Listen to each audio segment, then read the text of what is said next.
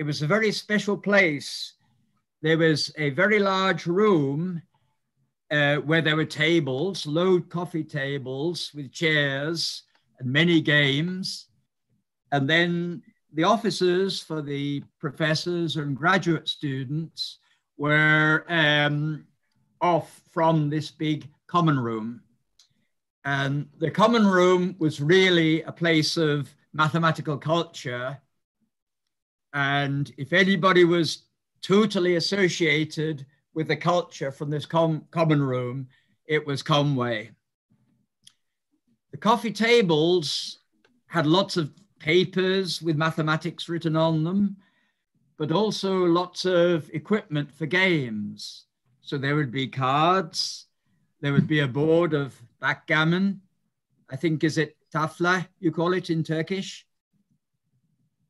Played with dice, and also a board or several boards for the Japanese game of Go, which will appear a little bit later in our story. Also at this time, Cambridge was a very important center for group theory. And there were three group theorists very active in Cambridge at that time. There was John Conway, and we'll of course talk about his contributions to the theory of groups later. There was John Thompson, the Fields medalist, who came from Kansas in America and spent quite a lot of time in Cambridge. And there was John Wilson, who worked on infinite groups. Sometimes we would be sitting in the common room, there was a telephone there, and the telephone would ring, and one of the wise would be calling, Can I speak to John? And of course, anybody who picked up the phone had to ask, yes, which group theorist do you want to talk to?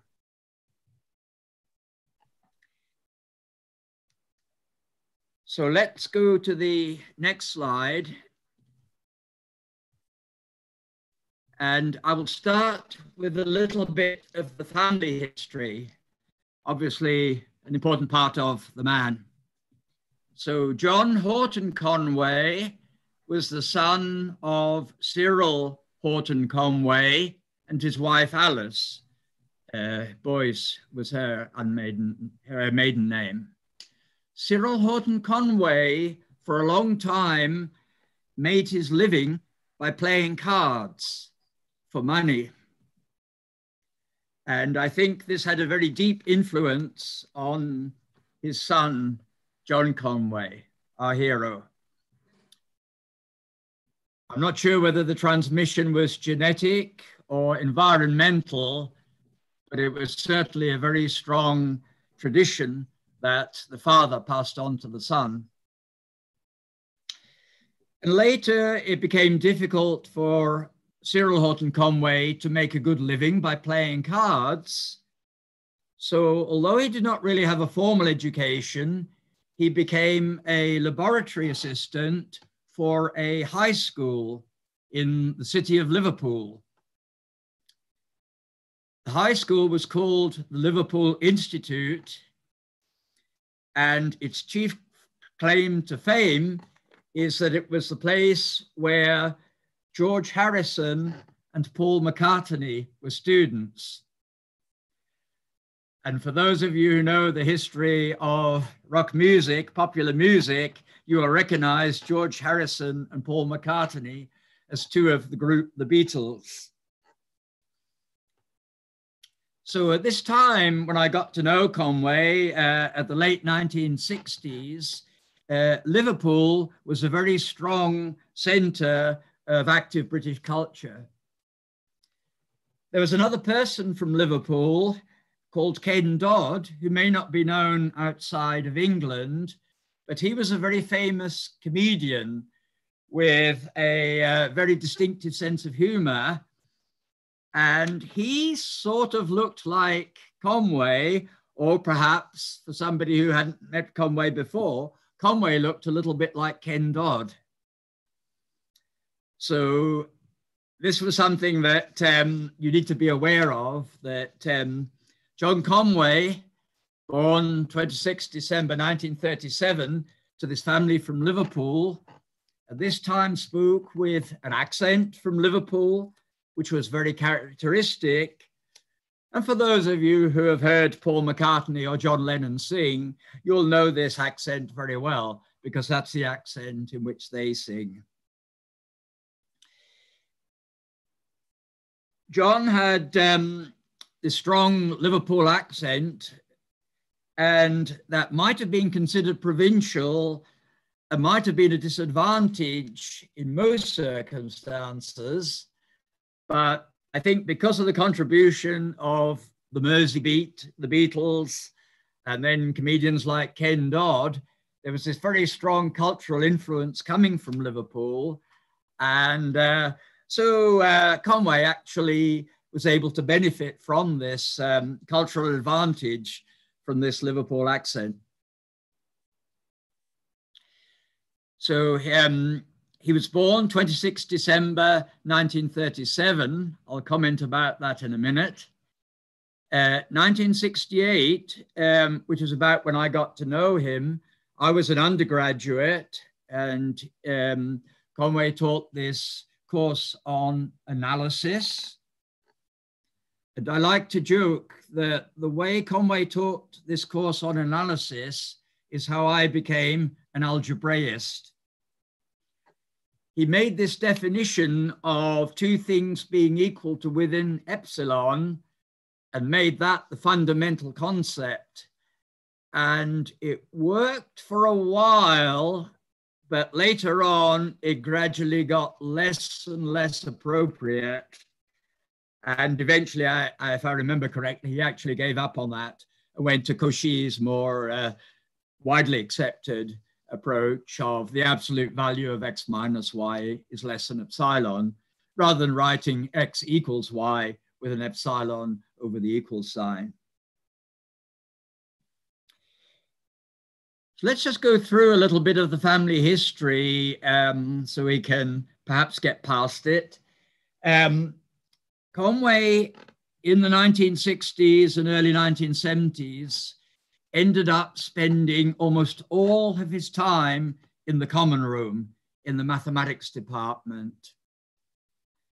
And in the long term, I think this was rather unfortunate because he saw very little of his wife and he saw very little of his four beautiful daughters, Susan, Rose, Elena, and Anne Louise.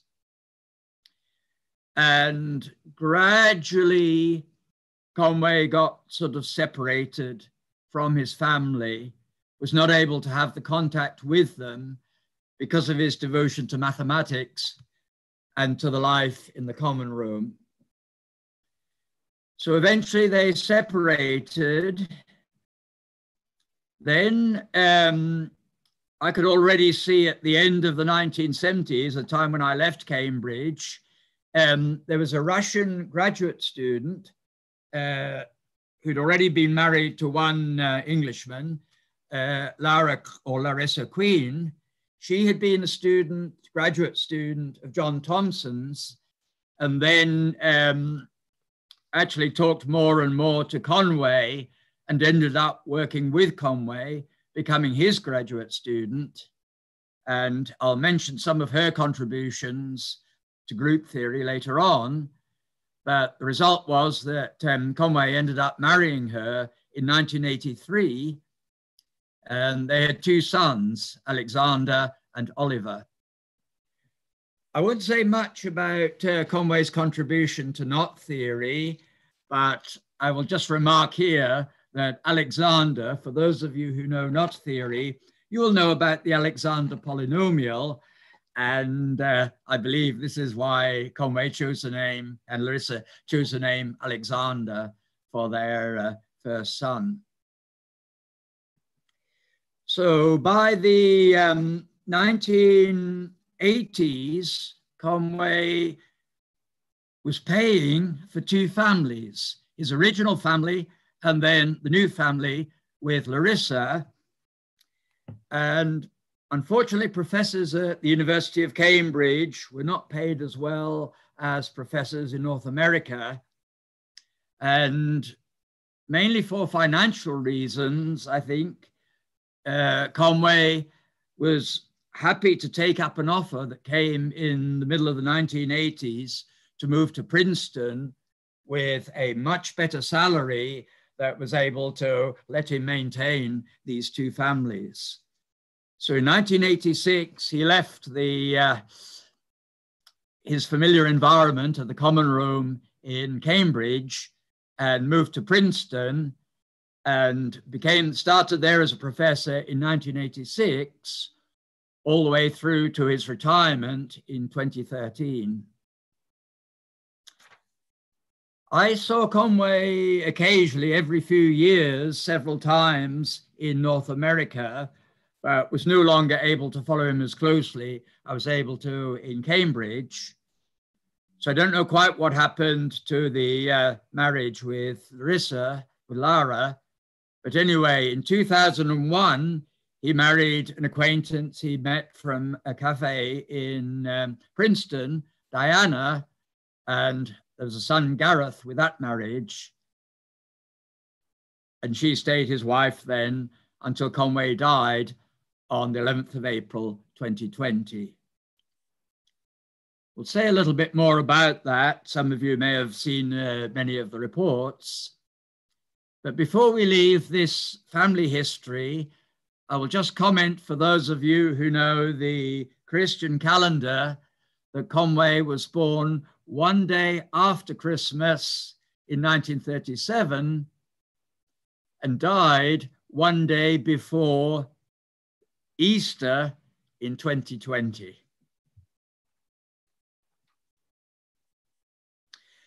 Okay, so that was Conway's human family.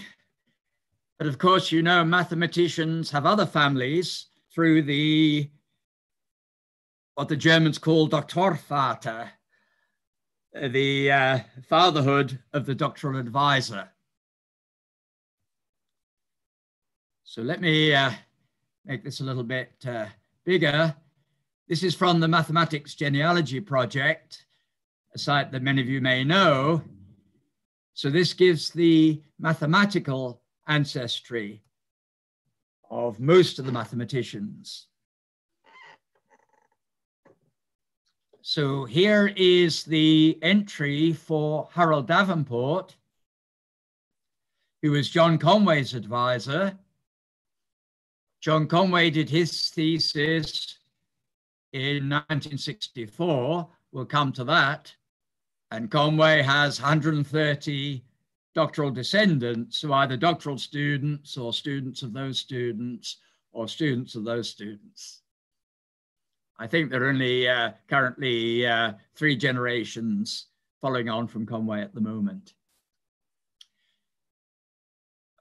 Conway's advisor, Harold Davenport, mainly known for number theory, his advisor is really quite famous, John Littlewood, the South African analyst who ended up in Cambridge for many, many years and was the longtime collaborator of Hardy. So anybody working in analysis will know the collaboration of Hardy and Littlewood. And for those of you who like to follow mathematics in popular culture, um, a few years ago, there was this um, movie about uh, Ramanujan, and Littlewood actually features in there as well. He's played by the actor, I can't remember his name, who also was the uh, main hero in the other movie, The Princess Bride. I was very lucky. I um, once had the chance to have dinner with Littlewood. This was after the graph theorist Bela Bollobás had just come to Cambridge and he arranged a dinner where he invited Littlewood and uh, also invited me. So it's very nice to have a chance to talk to your doctoral great great grandfather. I didn't quite appreciate it at the time, but looking back, appreciate it even more. Um, I'll also mention that although Conway himself did not get the Fields Medal, one of his doctoral brothers, Alan Baker, did. So Alan Baker, a very well-known number theorist, um, best known for his work on techniques for proving that numbers are transcendental. So extending some of the uh, previously developed techniques for showing that numbers are transcendental.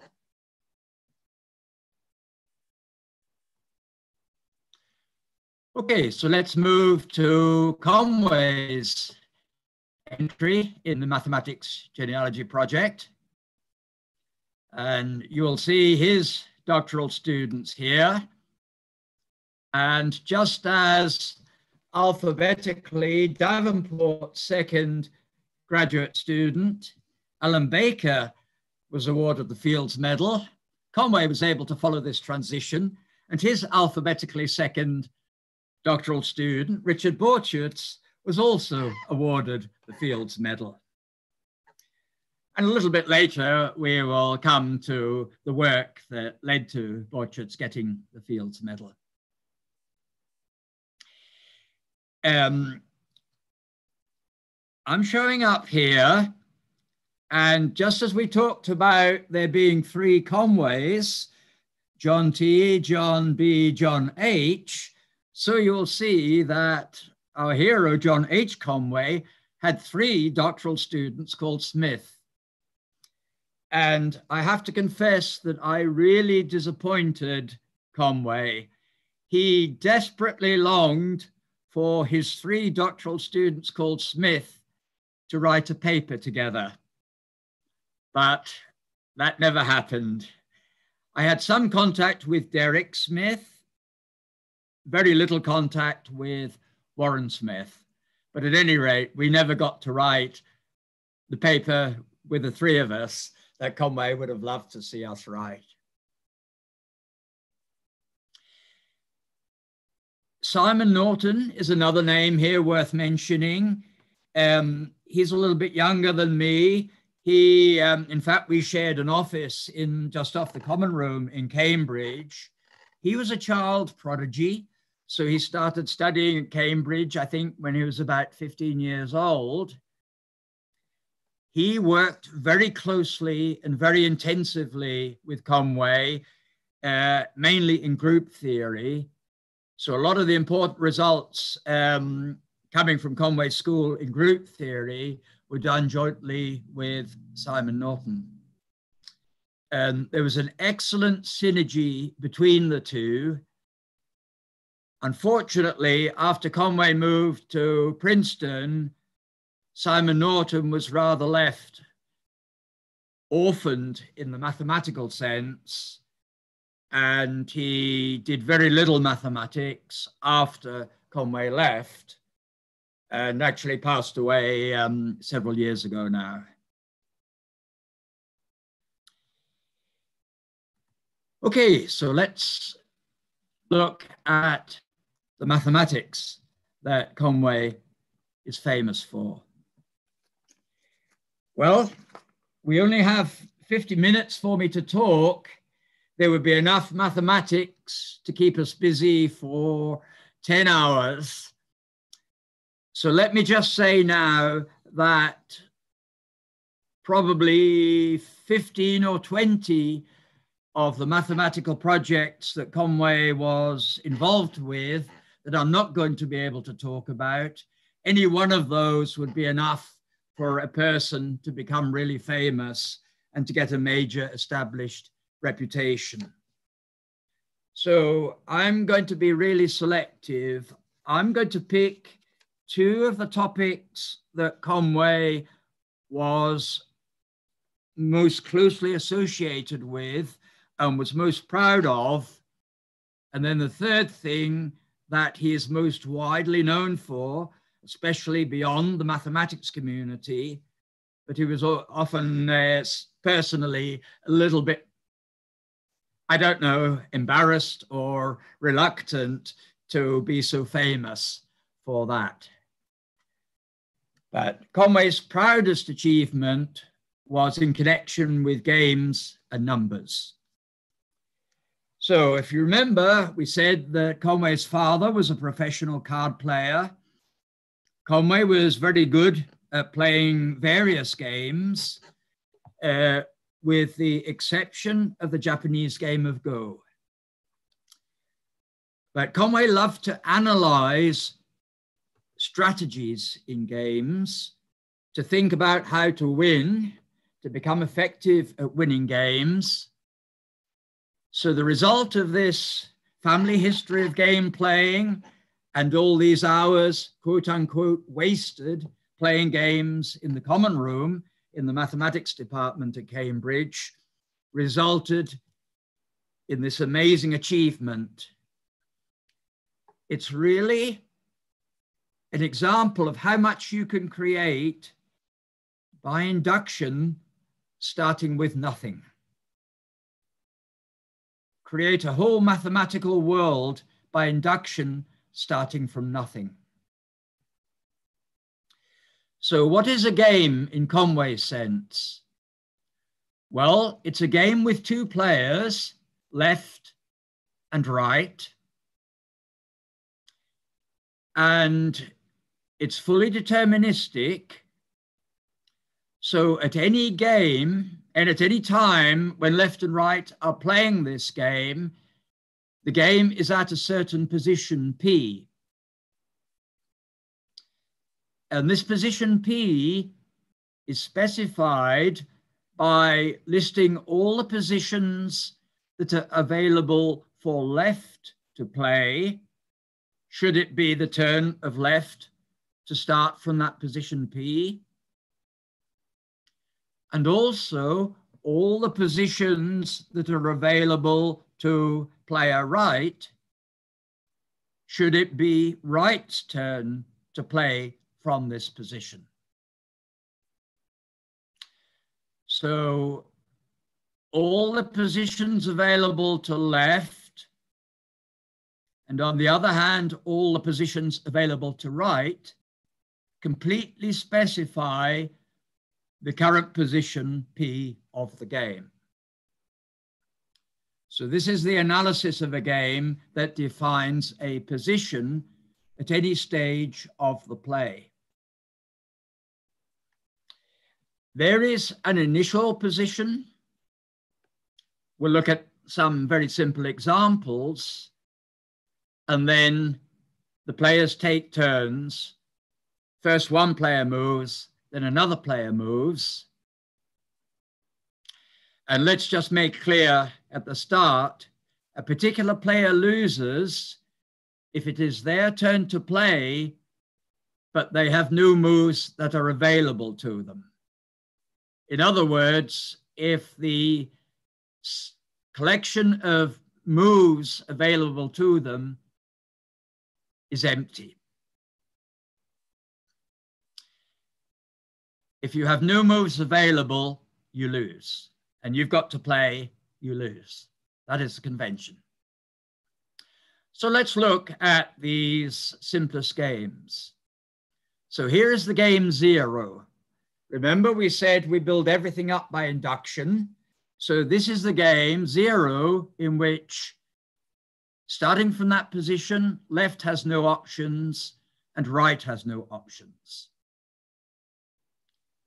So, of course, with this game, the first player to move in this game is going to lose.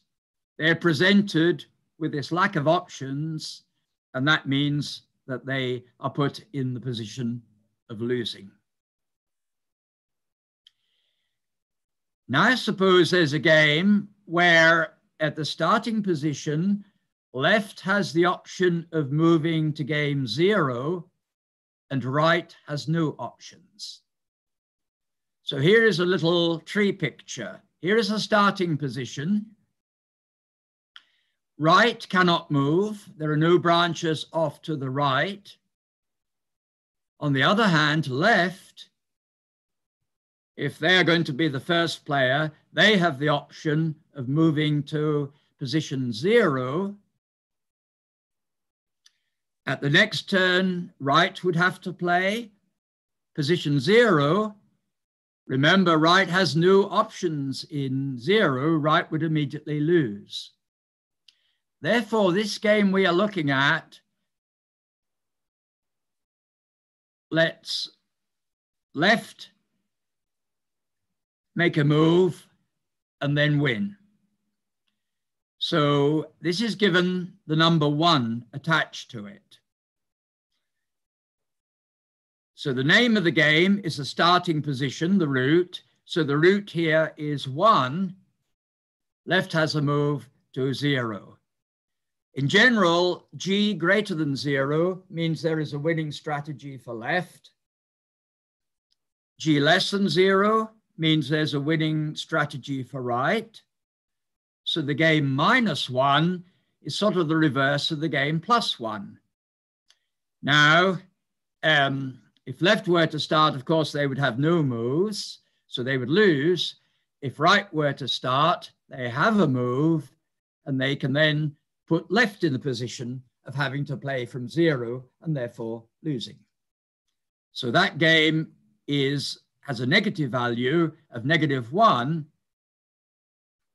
That's a winning strategy for right. Uh, so these three games will actually define later. We'll see those are numbers for a simple technical reason. Um, G equals zero.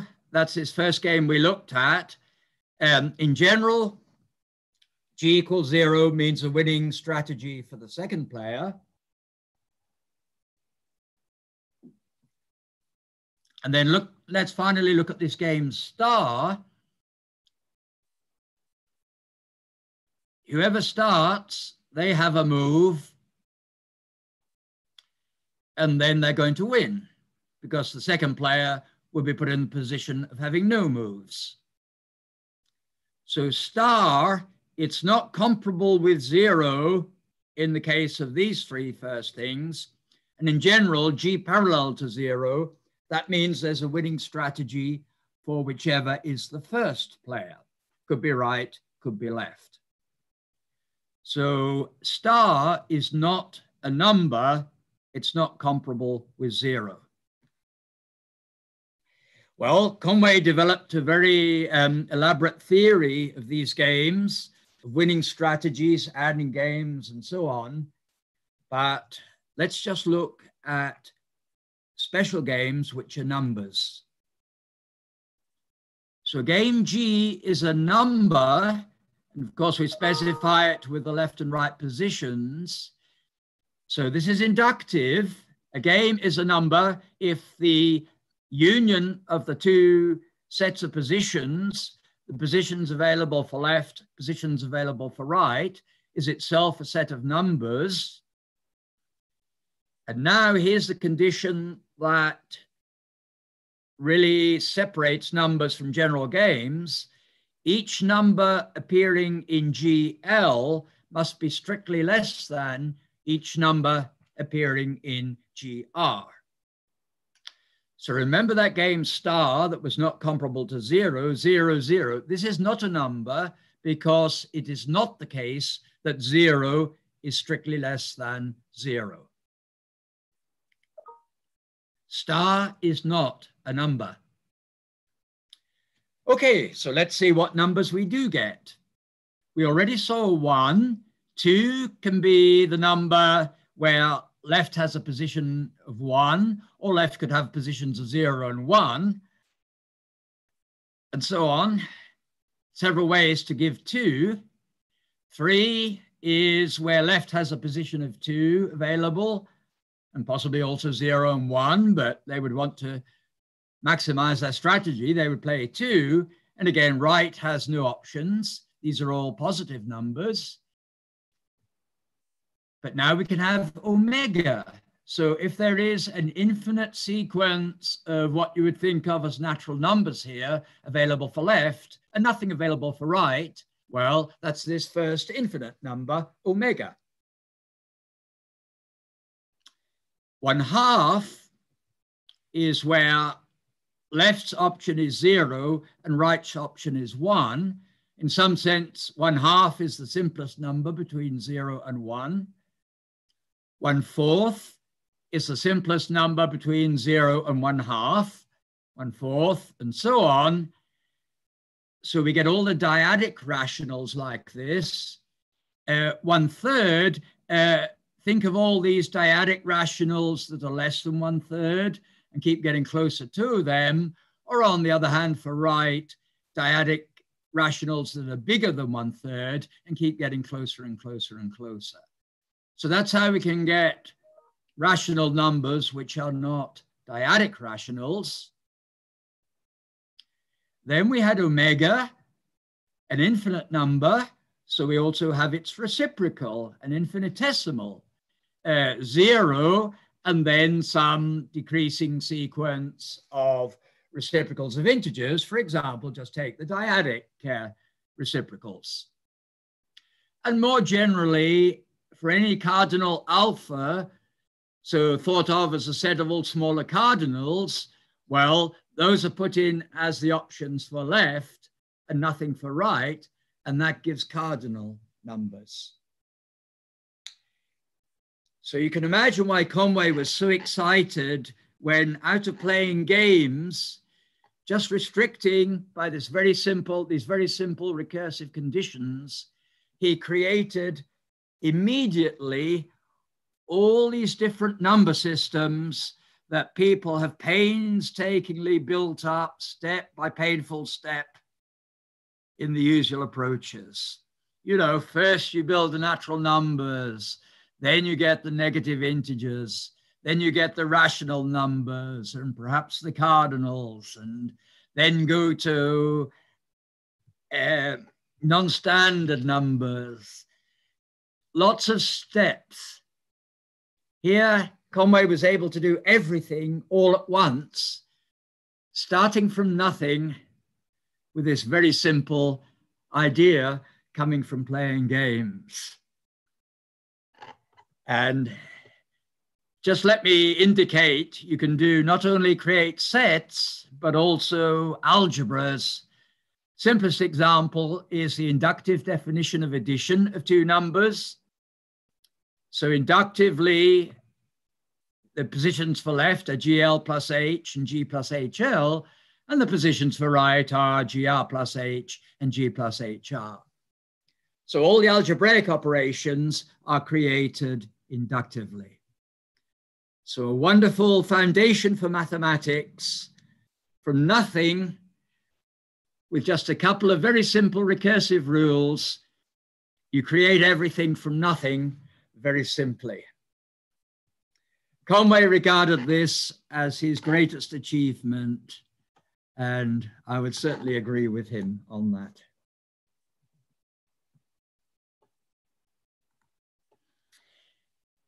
The other area, of course, that we've already mentioned, where Conway was justly most famous, is in the area of groups. Conway's main work was coming at the peak of the program of classifying the finite simple groups, a program that had really been initiated by Brauer when he focused on the idea of looking at uh, centralizers of involutions in simple groups, centralizers of elements of order two. And you remember we talked about the other extremely distinguished group theorist in Cambridge at the time, John Thompson, getting the Fields Medal for his contributions to the classification of finite simple groups. In particular, in conjunction with Walter Feit, the Feit-Thompson theorem, showing that if a group is simple, then it must have even order. So it would certainly have an involution, and therefore Brauer's inductive procedures would start to apply. So to summarize a vast body of work very quickly, classification of finite simple groups has three parts. The alternating groups that most of you will have seen, know that they're simple groups of Lie type, which I will just summarize as calling them matrix groups of a finite fields, you know, orthogonal groups, and um, versions of unitary groups, and so on. And then the 26 sporadic groups, which do not fit into these infinite families, the groups of Lie type or alternating groups. They started with Mathieu in the 19th century, the smallest Mathieu group, M11, 12, 23, 24, all the way up to the largest of the sporadic groups, which is a puny little group compared to some of the groups of Lie type, which of course get infinitely large, but the monster is certainly the largest sporadic group. We'll talk about the monster in a minute, but for the time being, let's focus on the Conway groups. So this was really the achievement that Conway, that solidified Conway's reputation as a great mathematician.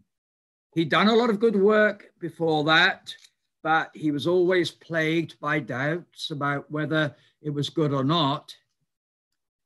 I think once he discovered these finite simple groups that nobody else had discovered before, that's when he was confirmed to, his, to himself that he was a great mathematician. So the Conway groups come from the Leech lattice, this is the um, densest, what we now recently know as the densest sphere packing in 24 dimensions. So think of stacking oranges, packing them as closely together as possible. If you came across 24 dimensional oranges, they would probably taste very sweet. And the densest way to pack them in 24 dimensions would be with this configuration of the Leech lattice. Formally, we can describe it by some um, vectors in 24 dimensional real space with integer components. So a typical vector there has um, three in one component and ones in all the other components.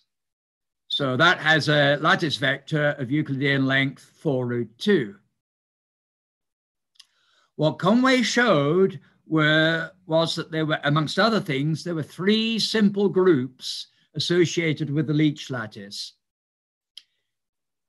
What we now call Conway 1, the first Conway group, that's the quotient of the automorphism group of the Leech lattice by plus or minus 1, because that's, um, you know, just applying these scalar matrices that on there, those are essential. Take the quotient by that, that's the first Conway group, the biggest. And then you don't need to do any um, dividing out. The stabilizer in the automorphism group of the Leech lattice of a lattice vector of length 4 root 2, like a typical example I mentioned, you've got a 3 in one position and then ones everywhere else. That's the group Conway 2. And Conway 3 is a stabilizer in the automorphism group of the Leech lattice of a vector of length 4 root 3 and that could be where you have, for example, five in one component and then one in all the other components. So these are the three Conway groups. So Conway has a permanent place in mathematical memory by having one of these, uh, three of these 26 uh, sporadic groups associated with him. One less than Mathieu, and I'm sure Conway would have been annoyed by that, but uh, you take what you can get.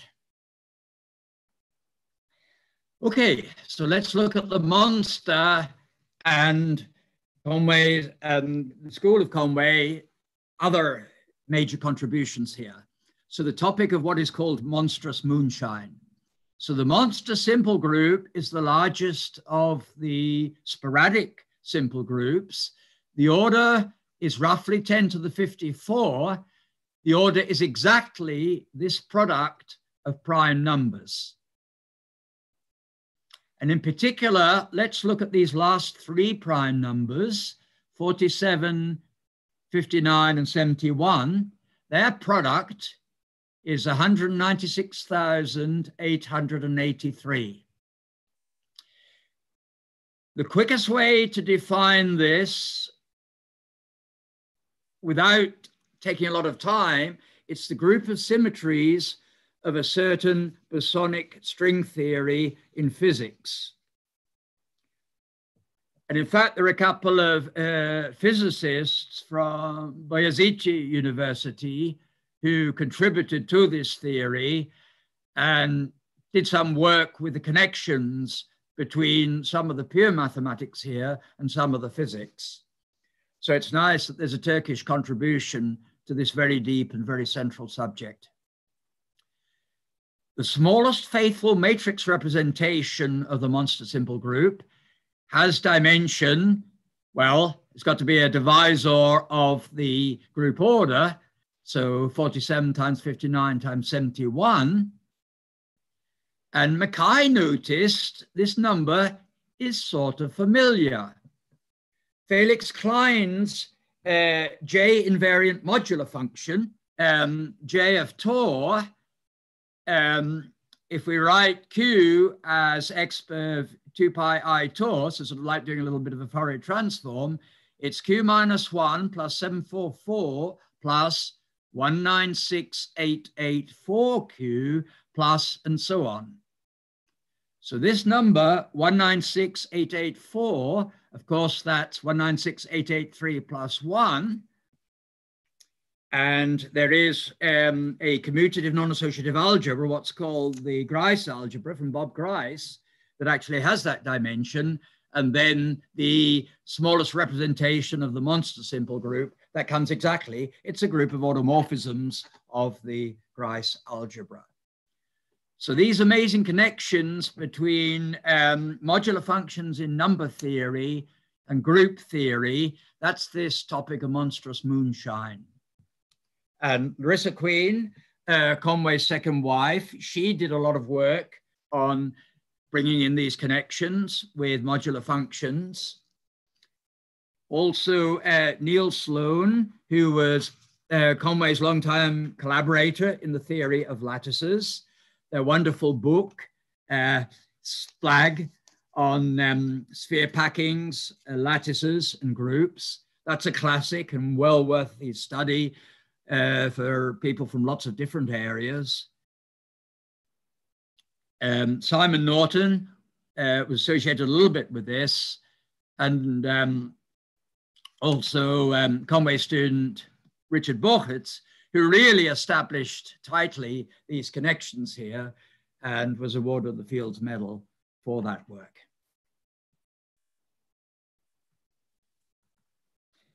Okay, so those are contributions to mathematics of which Conway himself was proudest.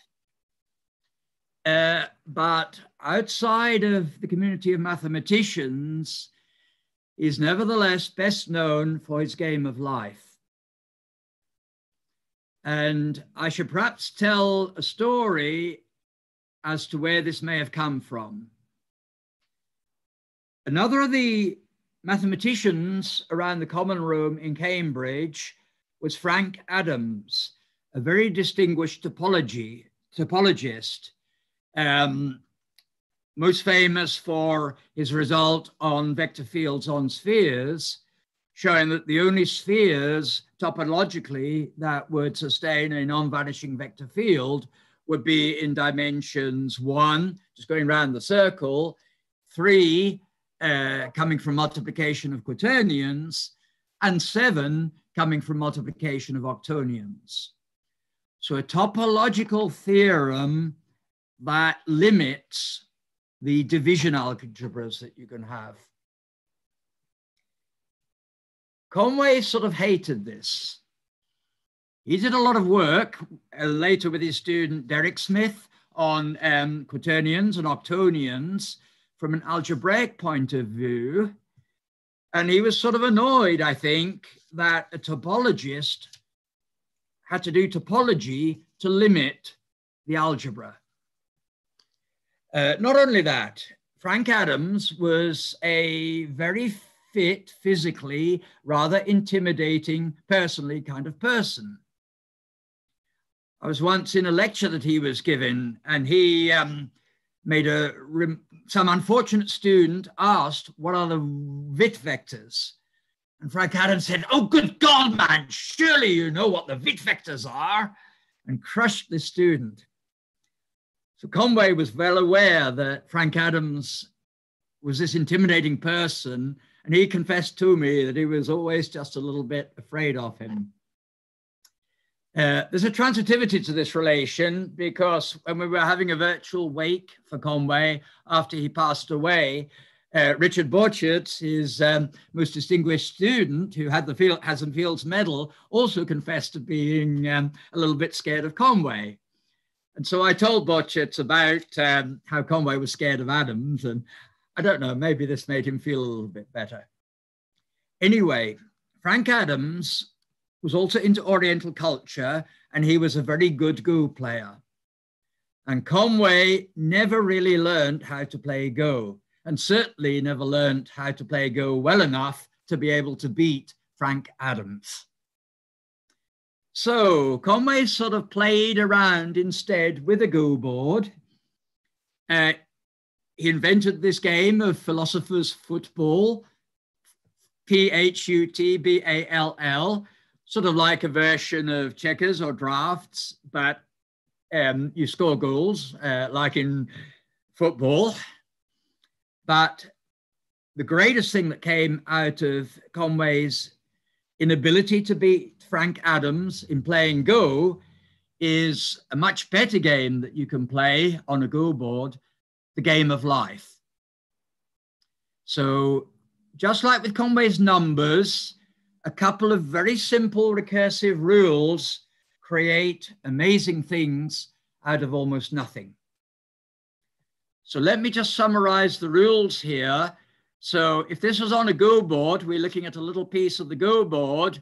The ones are where you have the black stones and the zeros are where you do not have the stones. A, um, if you have this position with one stone and then two or three neighbors, the stone survives at the next move. So the clock ticks and that stone that has two or three neighbors survives. That's one of the rules, the survival of stones which at the start of the clock tick have two or three neighbors. If you're adjacent to two or three neighbors, you survive. Otherwise, they die. Now let's look at the central cell. It's dead. There are no live, there's not a stone there. It's not live, but it has three live neighbors. And they could be anywhere around the circle here, but let's suppose they're like this. Then this is just the second and last of the rules. Well, um, almost the last of the rules. Uh, so a cell is born under that situation. So like human families, we need two parents. Here in Conway's game of life, you need three parents. And then the final rule is that no other cells survive. So very simple, um, you're not creating too many new cells at any given time, and you're not destroying too many cells at any given time. It's just at the sweet spot. And the result is that if you keep iterating this, according to um, Ulam, Stanisław Ulam's um, definition of a cellular automaton, you create amazing patterns. And you can see all these. I'm not going to show you animations. There are lots of those available out on the internet. But most significantly, patterns that you get can implement Turing machines, can implement universal computation. Uh, and in particular, in 2001, Paul Rendell created some very nice um, actually um, exhibited concrete way to create Turing machines with the game of life. And Conway's game of life, uh, to implement that, that's a standard um, exercise in computer science, very good one. And then there's a meta exercise. Um, if you take Rendell's implementation of a Turing machine in Conway's game of life, this Turing machine is universal. And so you can use it to implement one of your implementations of Conway's Game of Life. I haven't seen that nor have I seen anybody using Conway's game of life to implement a Turing machine to implement Conway's game of life with a Turing machine that, and so on. So this wonderful world that Conway created for us out of not being able to beat Frank Adams at the game of Go. Finish with a few quotations from Conway, characteristic. I won't do the Liverpool accent. I'm not from Liverpool. You know, people think mathematics is complicated. Mathematics is the simple bit. It's the stuff we can understand. It's cats that are complicated. Another one, which I really took to heart if everybody else is running north, then run far south as fast as you can. Uh, this is why, being a graduate student of Conway, I did not end up classifying finite simple groups. I ran south and got into uh, quasi groups. So I ran south as fast as I could. So maybe, although I didn't work in Conway's areas, I implemented his philosophy as expressed by this wonderful statement. Another typical one, he gave up trying to find matching pairs of socks. He was always uh, rather scruffily dressed. He just went out and bought 28 identical pairs of socks. And the story told afterwards was they thought I was running an orphanage. And the final quote from a um, recorded interview with his biographer uh, who, you know, as I mentioned earlier, you know, was not really a mathematician. Um, so someone was suggesting that the number uh, that shows up in the monster is arbitrary. Oh no, it's not arbitrary. It's got to be 196,883. So I hope you've seen enough to understand that comment. And I'll finish with a photograph taken by um, Tanya Khovanova in 2019 of Conway, Conway in the uh, Parker Rest Home. He'd had several um, health problems of various kind, both mental and physical, towards the end of his life. Spent the last year in the rest home. It should have given him protection, but unfortunately, with the COVID epidemic, a, rest home like that was about the worst place to be. Let me give you a quote again from a recorded interview. This was when Conway was talking about the monster, and he was referring to the um, diagram for generators and relations of the double cover of the monsters. But now, if we think about a COVID virus, we can give perhaps another interpretation to it. So what Conway said was sometimes you see a Christmas tree ornament which has a number of spikes hanging out of it. And when I heard that, you know, after the COVID epidemic, of course, I did not think about the diagram of generators and relations. My immediate association was with a um, coronavirus. And the other thing which I think Conway would have liked, remembering the game of life, he apparently died from being adjacent to either less than two or more than three other mathematicians. Okay, so I should finish here. Thank you very much. Teşekkür.